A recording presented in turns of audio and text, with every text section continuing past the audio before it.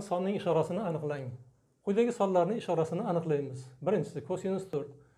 Buni ishorasini aniqlash uchun to'rt qaysi chorakda yotishini aniqlaymiz. To'rt soni pidan katta chunki pi uch butun pi uch butun bir to'rt bir besh va hokazo. Pi uchdan katta son. Uchdan katta son lekin to'rtdan kichik. Mana bu tengsizlik bajariladi. Ikkinchi tomondan pi. To'rt. Pi qo'shuv pi taqsim ikkidan kichik. Chunki pi uchdan katta pi taqsim ikki. Bir butun o'ndan beshdan katta. Demak ularni yig'indisi to'rt butun o'ndan beshdan katta son ekan bu. To'rtdan ham katta bo'ladi. Demak to'rt. Pi va pi qo'shuv pi taqsim ikki orasida yotganligi uchun ya'ni uch pi taqsim ikki orasida yotgani uchun. Demak to'rt. Bir ikki uch. Uchinchi chorakda yotar ekan. Kosinus uchinchi chorakda manfiy bo'ladi. Demak bu son manfiy son ekan. Navbatdagisi kosinus sinus alfachi sinus alfa bizga ma'lum sinus alfa alfani ixtiyoriy qiymatida minus bir va bir orasida yotadi. Sinus alfani qiymati. Bir esa pi taqsim ikkidan kichik. Minus bir minus pi taqsim ikkidan katta. Shu mana bu tengsizlik bajariladi chunki bu pi taqsim ikki bir yarimdan katta. Pi uch butun mana bu songa teng ikkiga bo'lsak bir yarimdan katta son. Birdan ham katta. Demak sinus alfa mana bu ikkita sonni orasida ekan. Demak bularni topadigan bo'lsak minus pi taqsim ikki mana bu yerda. Pi taqsim ikki mana bu yerda. Demak sinus alfa yoki to'rtinchi chorakda yoki birinchi chorakda bo'lar ekan. Bu har ikkala chorakda ham kosinusni ishorasi musbat. Har ikkala holda ham. Sinus birinchi chorakda bo'lsa ham kosinus musbat musbat son bo'ladi. Sinus to'rtinchi chorakda bo'lsa ham kosinus musbat bo'ladi. Demak ikkinchi son musbat son ekan. Va nihoyat uchinchi misolga o'tamiz.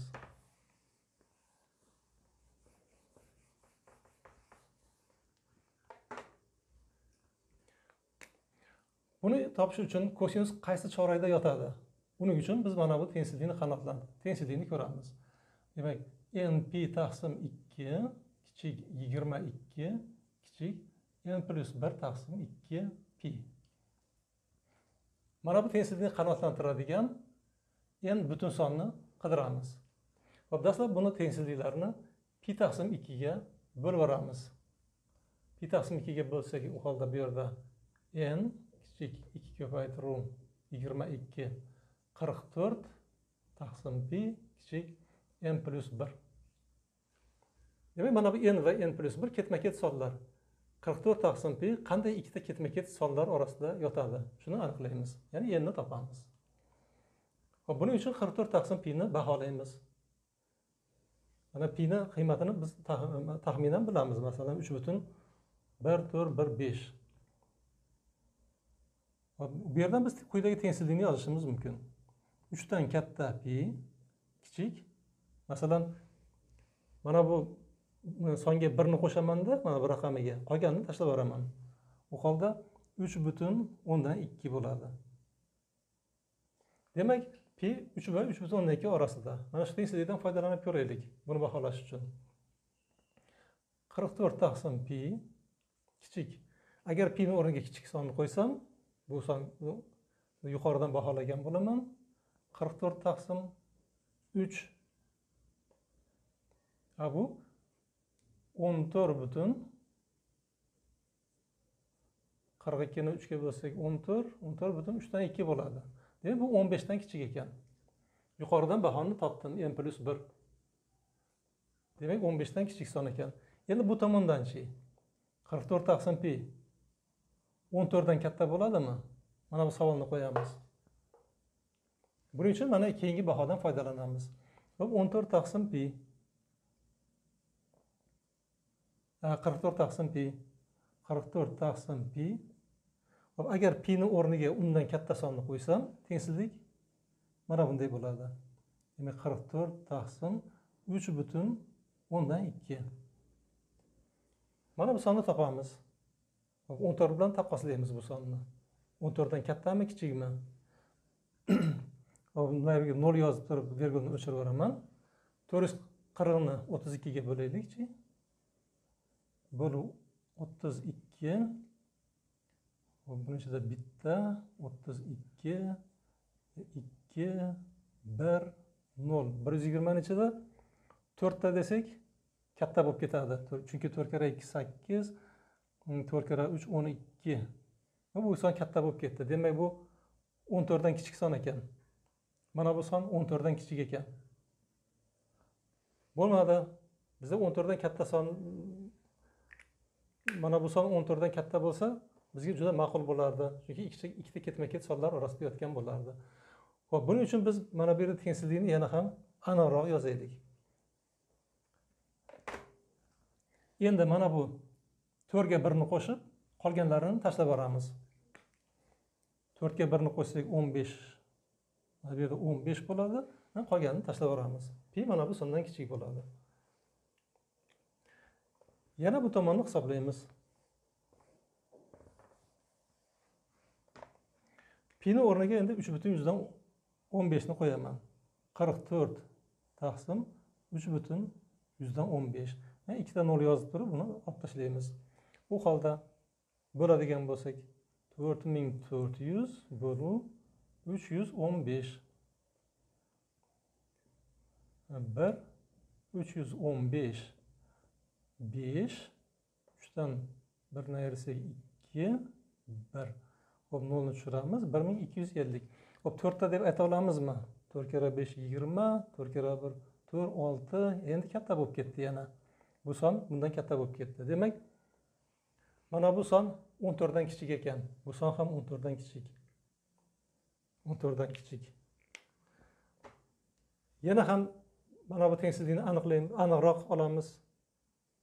Endi 15 emas. Endi mana bu birga bir qo'shamiz. 1 4 2 mana bunday deb olamiz. U holda chap tomondagi tengsizlik quyidagicha baholanadi. Qirq to'rt taqsim pi chapdan quyidan quyidagicha baholanadi. qirq to'rt taqsim uch butun bir yuz qirq ikki. E, virgulni o'chirib mana bu yerga ikkidan uchta nol yozamiz. Endi yana bo'lib ko'ramiz buni. Nol nol nol bo'lu uch ming bir yuz qirq ikki. Hop bir uch ming bir yuz qirq ikki ayiramiz bu yerda sakkiz to'qqizdan to'rt besh uchdan bir ikki bir bir ming ikki yuz ellik sakkiz. Hop nolni tushiramiz. Hop endichi to'rtta deya olamizmi yana tekshirib ko'ramiz. To'rt karra ikki sakkiz to'rt karra to'rt o'n olti to'rt karra bir to'rt birni qo'shsak besh to'rt karra uch o'n ikki. Ha endi yaxshi. Mana bu yerda mm, ikki yettidan o'n ikki. Demak buni bu sonni bunga bo'lsak bu o'n to'rt butun uch ming bir yuz qirq ikkidan o'n ikki bo'lyapti. o'n ikki mana bunday son. E bu o'n to'rtdan katta son. Mana bu son o'n to'rtdan katta. Endi ayta olamiz. Demak qirq to'rt taqsim pi o'n to'rtdan katta son ekan. o'n to'rtdan katta va o'n beshdan kichik. Endi baholadik.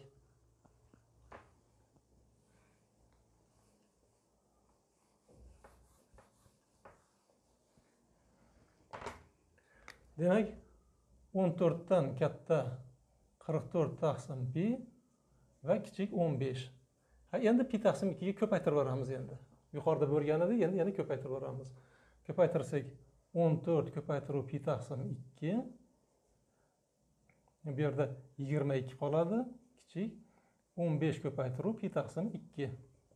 Mana bu tomon yetti piga teng bu o'ng tomonni esa yetti pi qo'shib pi taqsim ikki deb yozish mumkin.